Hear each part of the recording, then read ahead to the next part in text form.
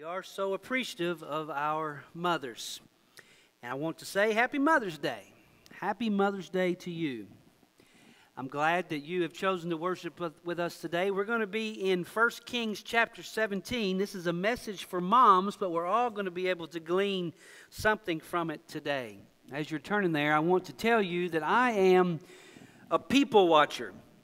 I like sitting on the outside and watching uh, watching how people react. And, and I know a few things about people, and I want to share some of the things that I've observed today, specifically about today's moms. And yes, I have observed today's moms. Is that creepy or what? I have seen moms frantically searching for their keys.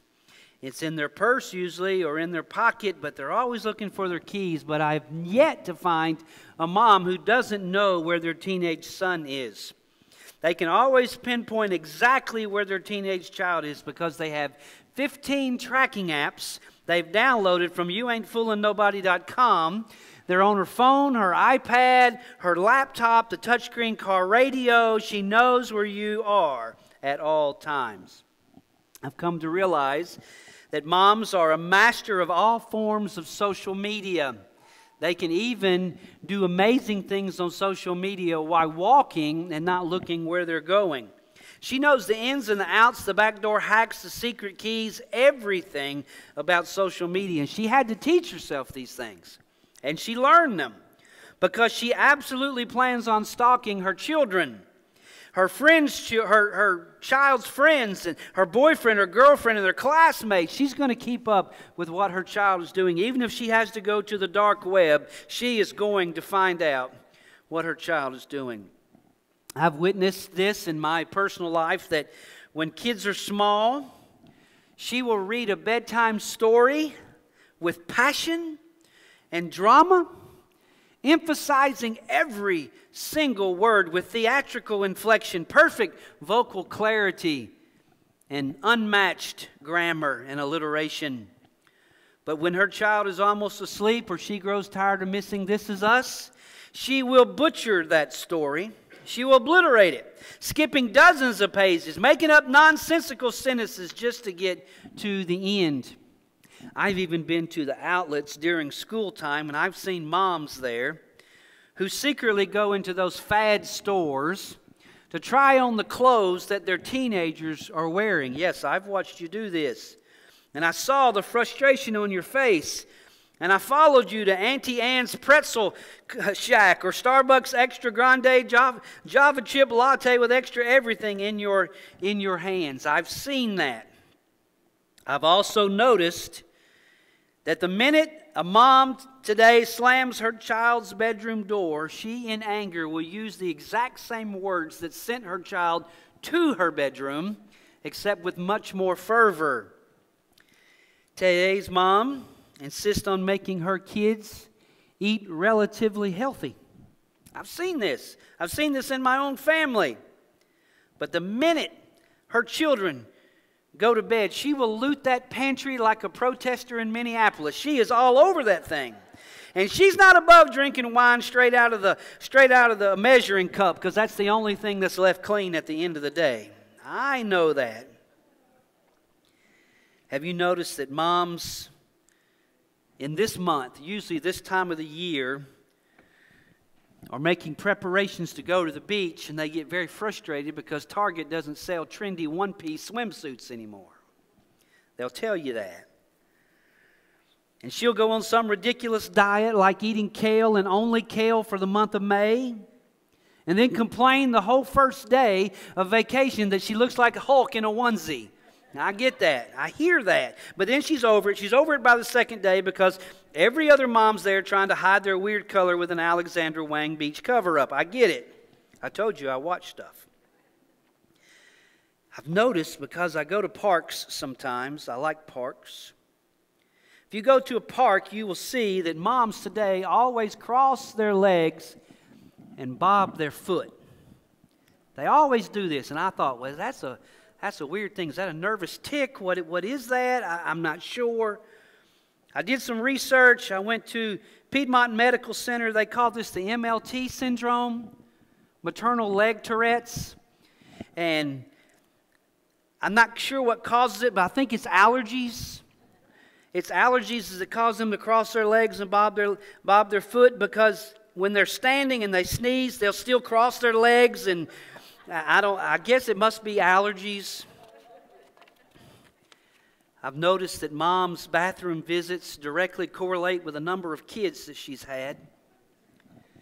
A mother of one will visit a bathroom a little more often after they gave birth, but a mother of two, that will increase dramatically the frequency of those visits. A mother of three, well, she's never going to ride a roller coaster or jump on a trampoline again. And a mother of four or more, and let's face it, she's changing her diaper at the same rate as her babies. Some, not all moms, but some moms. I guess it just depends. That's terrible. Sorry, sorry. As weird as they are, we've learned to, to lean on moms, to love moms. Not every mother's perfect, I know that. But those who try, we love you. And by association today, we're going to glean this message that I've written specifically for some moms. In, in 1 Kings chapter 17, the prophet Elijah told King Ahab that God was not pleased with his sinful ruling habits. And Elijah said, It's not going to rain until I, I let it rain again. He was speaking on God's behalf. And of course, Ahab would have killed Elijah if he'd have got his hands on him and, and tortured him and forced him to make it rain. So God moved Elijah to the east side of the Jordan to hide by a little creek. And once he got there, and I'm not making this up, it's what the Bible says. Once he got there, the ravens brought him bread and meat every single morning and every single evening. That is so weird. So, you Christian doomsday preppers, y'all need to relax a little bit. I mean, some finches might bring you some sunflower seeds or something when, you, when, when that happens. But he's at the brook. And of course, it hadn't rained, so the brook does what brooks do without rain, dries up. And God again moved him to another place. And this is where we pick up in verse 8 of 1 Kings 17. Then the word came to him Arise, go to Zarephath, which belongs to Sidon, and dwell there. Behold, I've commanded a widow there to feed you. So he arose and went to Zarephath. And when he came to the gate of the city, behold, a woman, a widow, was there gathering sticks. And he called to her and said, Bring me a little water in a vessel that I may, I may drink. And as she was going to bring it, he called to her and said, Bring me a, a morsel of bread in your hand. She said, As the Lord your God lives, I have nothing baked only a handful of flour in a jar and a little oil in a jug. And now I'm getting a couple of sticks that I may go and prepare it for myself and my son that we may eat it and die. And Elijah said to her, Do not fear. Go and do as you have said, but first make me a little cake of it and bring it to me, and afterward make something for yourself and your son. For thus says the Lord, the God of Israel The jar of flour shall not be spent and the jug of oil shall not be empty until the day the Lord sends rain upon the earth. And she went and did as Elijah said. And she and he and her household ate for many days. And the jar of flour was not spent, neither did the jug of oil become empty, according to the word of the Lord that spoke that he spoke by Elijah. Now notice some things about this woman. First, she's a widow. She's by herself in a society dominated by men, not very kind to widows at those days, but she was okay.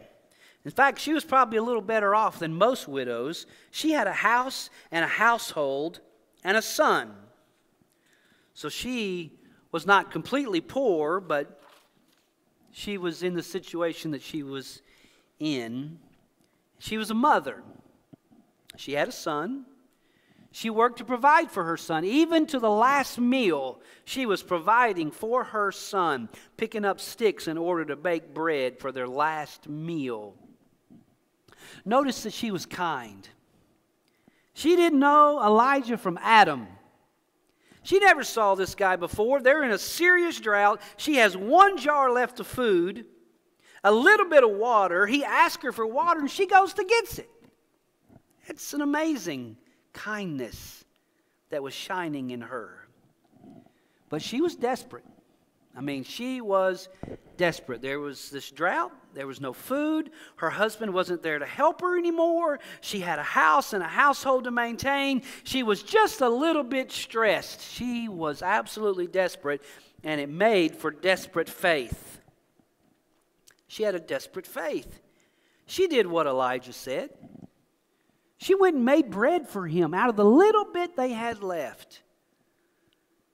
That's crazy. She wanted it to be true. She wanted what he told her to be true. She needed it to be true for her family. And God blessed her. She and her household ate for a long time on that handful of flour and that few drops of oil. And the flour jar never emptied and the oil never dried up. Now look at verse 17. And after this, the son of the woman, the mistress of the house, became ill, so her son gets ill. And his illness was so severe that there was no breath left in him.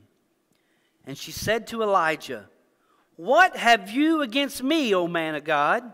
You have come to me to bring sin to my remembrance and cause the death of my son. And he said to her, Give me your son. And he took him from her arms and carried him up to the upper chamber where he lodged and laid him on his own bed. And he cried to the Lord, O Lord my God, have you brought calamity even upon the widow with whom I sojourn? By killing her son? Then he stretched himself upon the child three times and cried to the Lord, O Lord my God, let this child's life come into him again. And the Lord listened to the voice of Elijah. And the life of the child came into him again, and he revived. And Elijah took the child and brought him down from, from the upper chamber into the house and delivered him to his mother. And Elijah said, See, your son lives. And the mother said to Elijah, Now I know that you are a man of God, and that the word of the Lord in your mouth is true. Notice a few things else, a few other things about this woman. She was grieving for her son. She had, a, uh, she had lost a husband. Now she lost a son. And in her grief, like a lot of people, she spoke out of anger, even to Elijah. What have you against me, O man of God? She was questioning God's man. Why are you here? What did I ever do to you? And then she turned inward and she saw where she had failed in the past and she felt guilty about her past. That's why she said, Have you come to bring my sin to remembrance and cause the death of my son? Like she'd already seen this prophet do a miracle with the food. Now, she was probably uh, a Baal, worship, Baal worshiper. In this part of, of the country, everyone worshiped the false god Baal. So she was feeling a little guilty about that because she saw the miracle of the one true God with her food. And she thought that the initial saving of her and her household and her son was so that the death of her son could be so much more because she had such an evil past. She blamed herself. Funny how calamity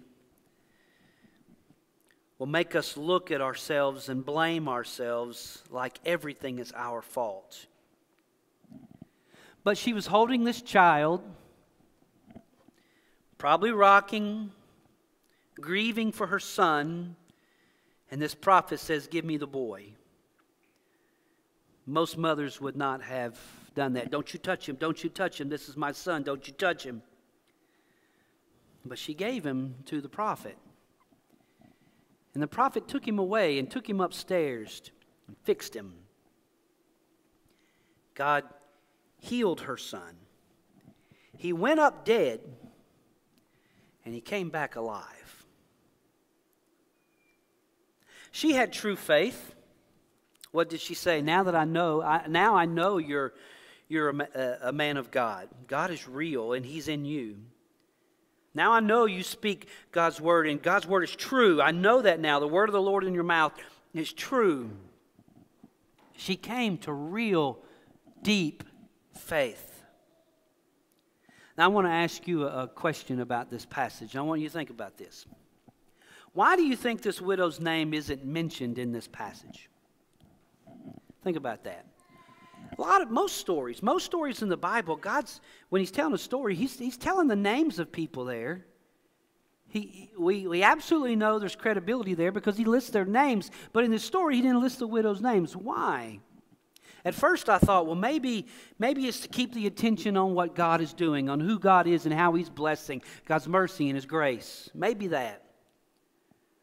But the more I thought about it, the more I think that this woman's name's not listed because every single woman who will ever read this from now on will be able to identify in some way with this widow woman.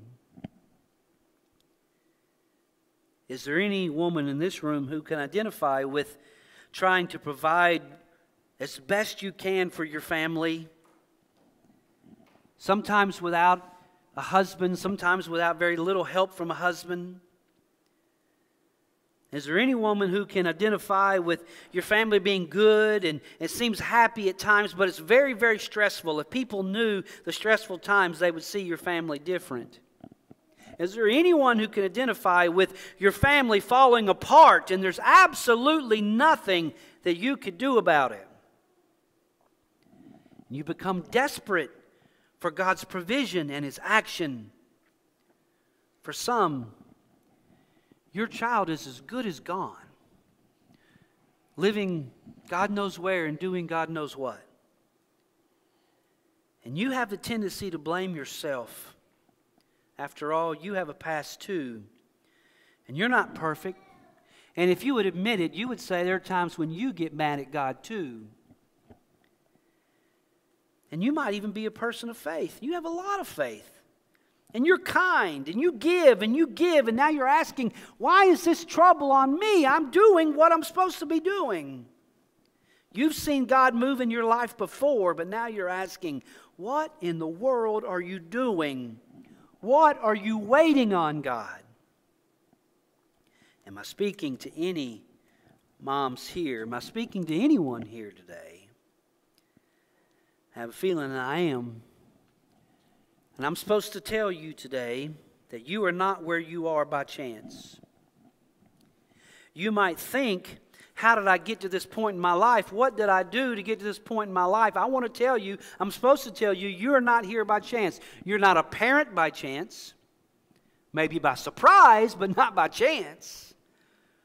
I like the New Living Translation of Proverbs 16. We may throw the dice, but the, the Lord determines how they fall. Today, in, in that context of future parenting, there's a whole lot of gambling going on right now. I know that. We better wake up, and especially if He allows a child to be born to you. That child is born for a reason. Psalm 139 tells us you were formed and you were you formed me and in my inward parts you knitted me together in my mother's womb. I praise you, for I'm fearfully and wonderfully made. Wonderful are your works. My soul knows it very well. My frame was not hidden from you when I was being made in secret, intricately woven in the depths of the earth. Your eyes saw my unformed substance. In the book were written, every one of them, the days that were you formed for me, when as yet there was none of them. God knew what He was doing by giving you that child even if that child was conceived in sin, he knew what he was doing. This is, by the way, is why we celebrate every child's birth in our church. There are a lot of churches that do not celebrate the birth of every child because of um, the condition we find ourselves in this society. But we celebrate the birth of every child because it's a miracle child. God formed that child. Even if we disapprove of an unmarried couple's actions, we know that God made that child. You are not a parent by chance. And I'm supposed to tell you, you're not in your situation that you find yourself in by chance either, even if it's desperate. God knows it's hard for you sometimes. He knows exactly where you are right now mentally and emotionally. He knows that. He sees you. He hurts with you, and He knows exactly what you are feeling. Jesus knew what it was like to experience poverty, to be in want. Foxes have holes, birds have the air, uh, have birds of the air have nests, but the Son of Man has nowhere to lay his head. That's what he said. Jesus knows what it's like to suffer from grief. His very best friend died, and his Bible says he wept. He knows what it is to lose someone. Judas knows what it's like to be betrayed. They all abandoned him in the garden. They ran away like cowards. Only John came to the crucifixion. Peter denied him. Jesus betrayed him. Jesus knows what it's like to experience sufferings. He suffered his whole ministry.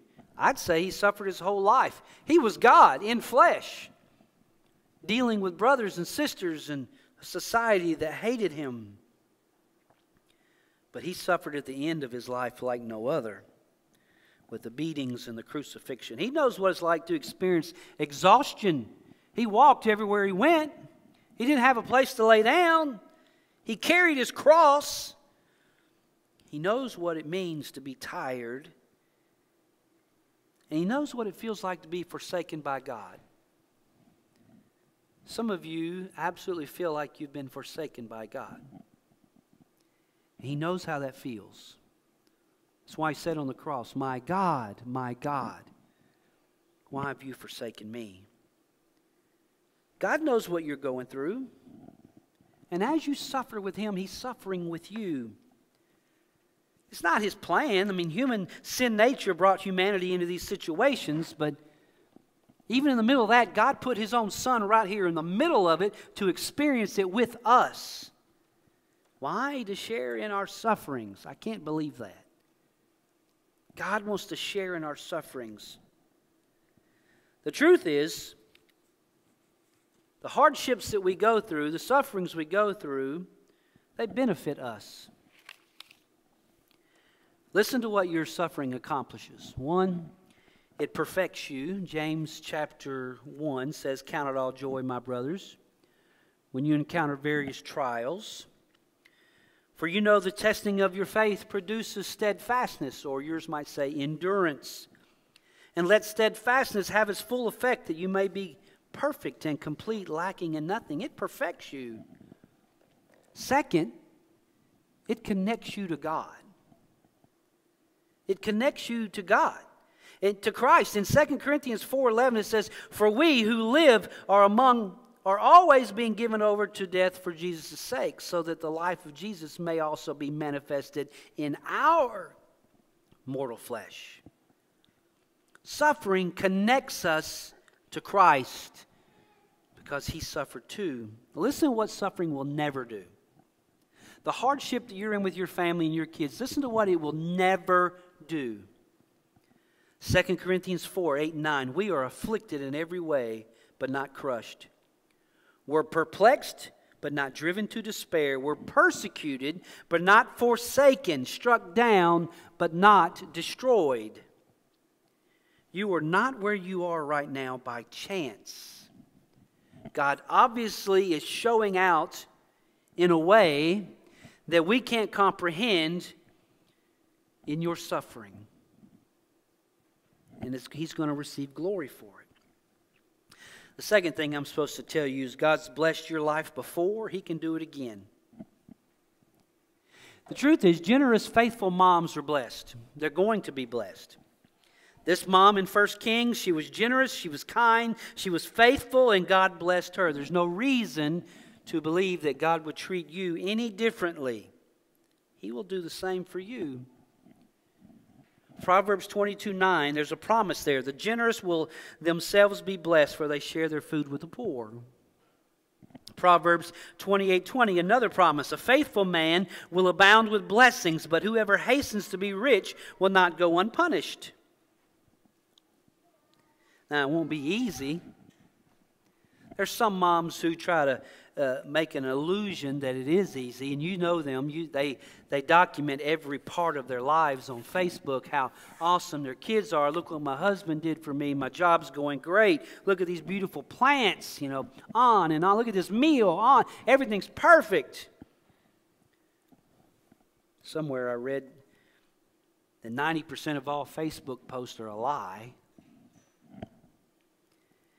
Parenting's hard work. It can be thankless. It can be frustrating, unenjoyable. Sometimes it can even be soul ripping. But God will bless those who are kind while being strict.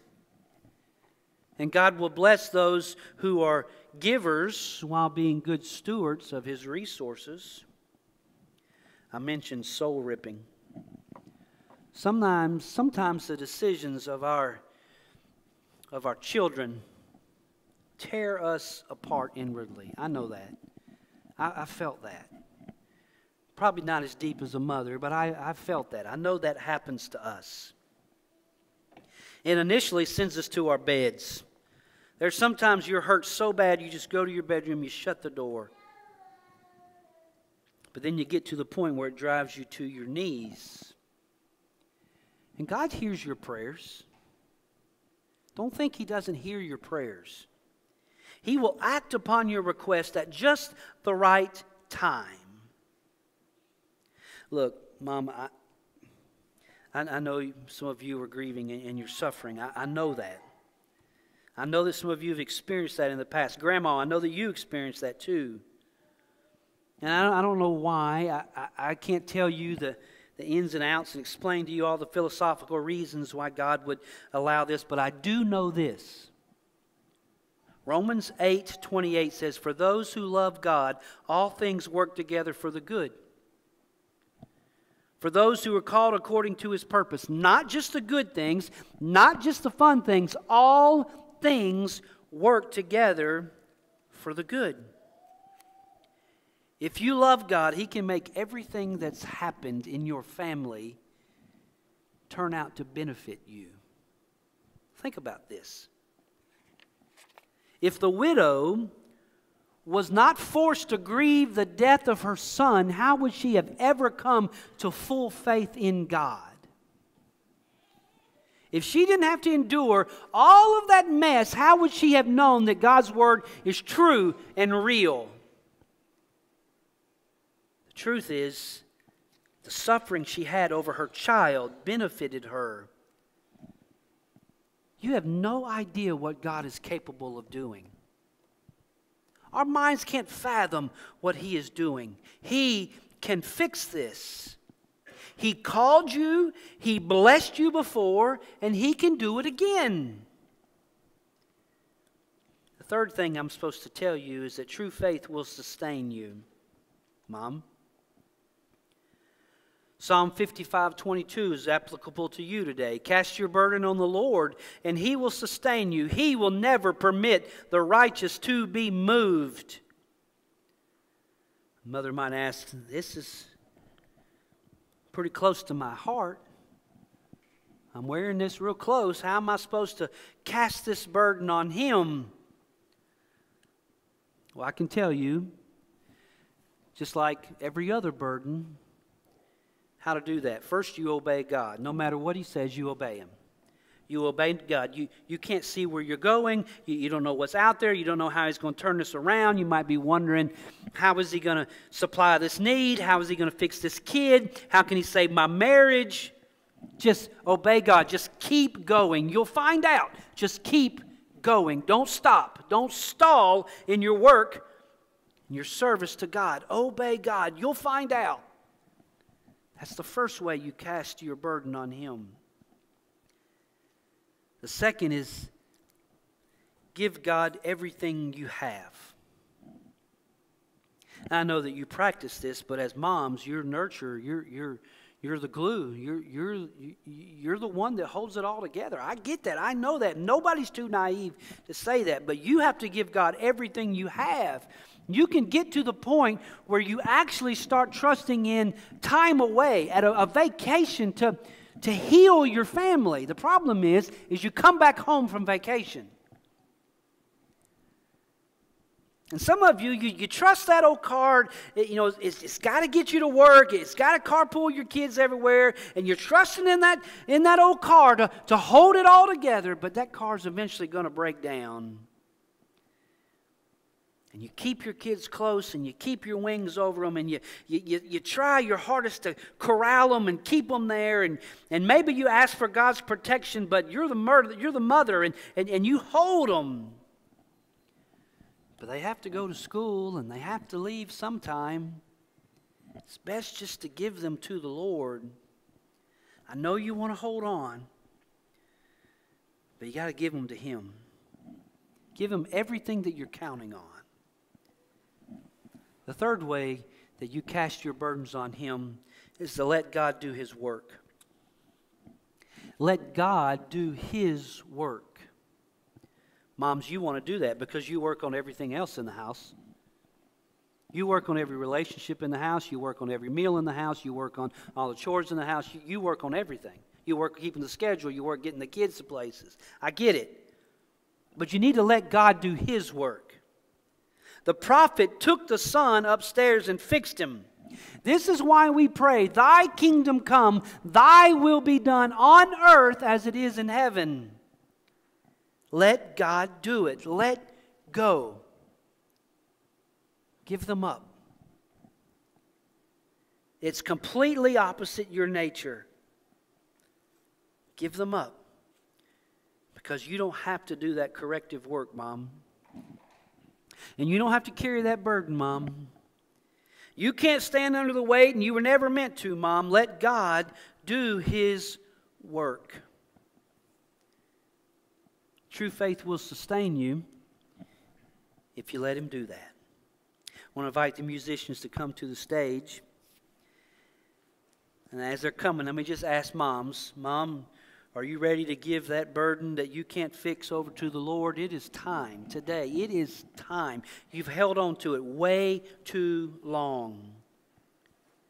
And family member, are you ready to pray for her like you've never prayed for her before? It is time. She needs this now. I want to pray for the moms in the room. So I'm going to ask every mother in the room to please stand. I want to pray for you. You have you have difficult times in your life. I know. And I want, I want to pray for you, and I want others to pray for you too. But first, I want you to pray for yourself. So let's bow our heads and you just say a prayer similar to this to me in, in your own mind. God, I will obey you. I will give you everything I have. I will let you do your work.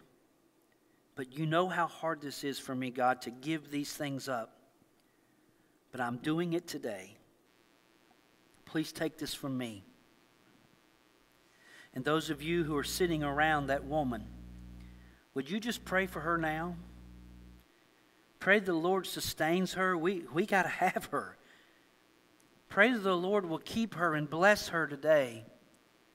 Pray that the pressures of life will, will roll off of her shoulders. Do that right now. Pray for her right now.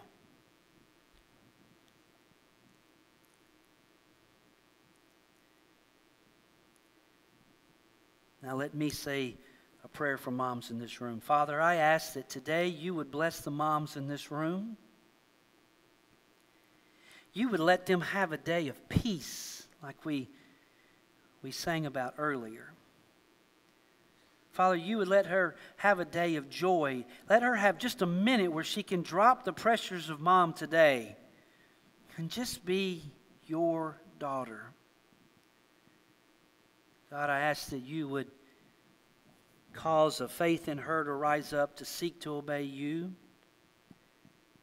I pray you would give her the courage, the boldness to turn over their family to you. And I pray that you would give them patience to endure while you're working on their, their house and their, their family and their children and their spouse and their parents. God, turn this over. Help them to turn this over today. And I ask this in Christ's name. Amen. Let's all stand now. Moms, thank you for what you do. We're going to thank thank the Lord for what He's going to do in your life. This is a, a powerful song, and, it, and I chose it specifically. Corey usually chooses all the songs, but today I asked him to play this one. We've sung it before. Because I know what God can do in your family and in your life. Please worship. Worship. Just let it all go today in worship. If you want prayer, Greg and I will be on the sides. We'll be glad to pray with you about anything, about letting it go. But in this moment, just let it all come off your shoulders and worship. God's got this. Let's pray. Father, I ask that you will move in us now in Christ's name.